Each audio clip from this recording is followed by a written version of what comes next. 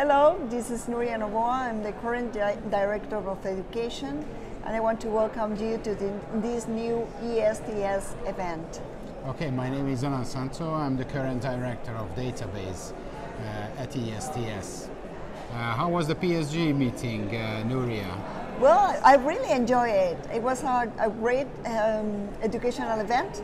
We have some really interesting questions, and I really appreciate uh, all the great effort that all the experts did in order to well support their um, their contents. It was it was really nice. It was fully uh, booked and uh, I really, I really enjoyed it. Really, it was very good, very good session.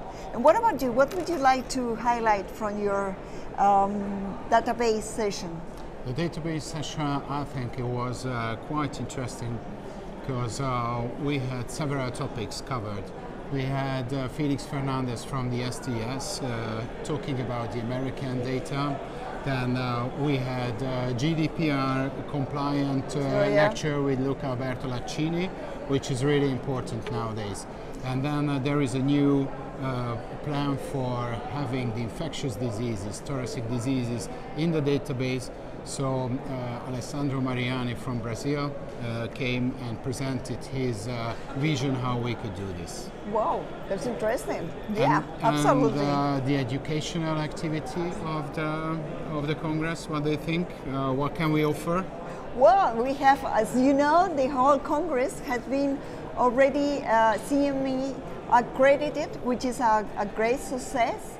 And uh, I think, uh, well, the whole event itself is a, an educational event. But maybe I would like to introduce people to, uh, let's say, the innovative session, for instance, that is happening tomorrow morning at 8 o'clock or even today's biology club. It, it could be a very good opportunity to get engaged in some things that are happening, but uh, they are not uh, as normal. They are not in our daily practice. Apart from that, of course, the Brompton session it will be very interesting with a large variety of uh, papers. And also the Young Investigator Award.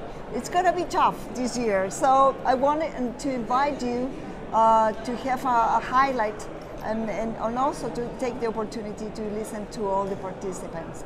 But of course, I think uh, that we can find educational contents everywhere. We count on everybody. Okay, Yeah. see you there. Okay, see Bye. you soon. Bye bye.